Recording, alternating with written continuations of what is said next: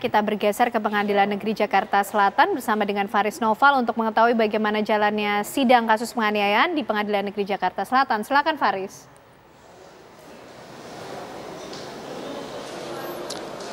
Ya, Vena Kenana dan pemirsa sesaat lagi memang sidang putusan uh, sidang bacaan putusan atau vonis terhadap terdakwa anak AG akan diselenggarakan di ruang sidang 7 atau ruang sidang anak di Pengadilan Negeri Jakarta Selatan pukul 14 waktu Indonesia Barat.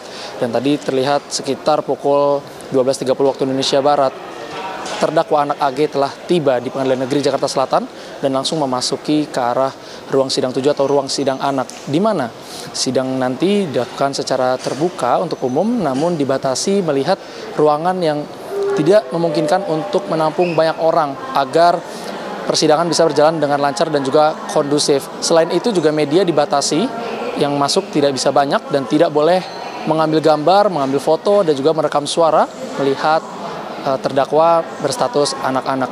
Sebelumnya Vena Kenana dan pemirsa Humas Pengadilan Negeri Jakarta Selatan Juyamto telah menjelaskan bahwa sebenarnya terdakwa anak AG ini tidak diwajibkan untuk datang secara langsung ke proses pengadilan ini cukup diwakilkan oleh kuasa hukumnya saja. Namun Juyamto telah mengkonfirmasi bahwa AG hadir di persidangan kali ini.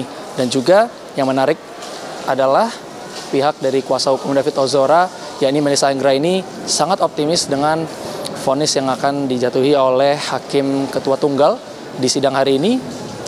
Ia optimis dan pihak keluarga David juga optimis vonis yang diberikan adalah vonis maksimal, yakni enam tahun penjara yang merupakan potongan setengah dari dakwaan yang didakwakan yang didakwakan oleh yang didakwakan kepada terdakwa anak AG, yakni pasal 355 ayat 1 dengan hukuman maksimal 12 tahun penjara.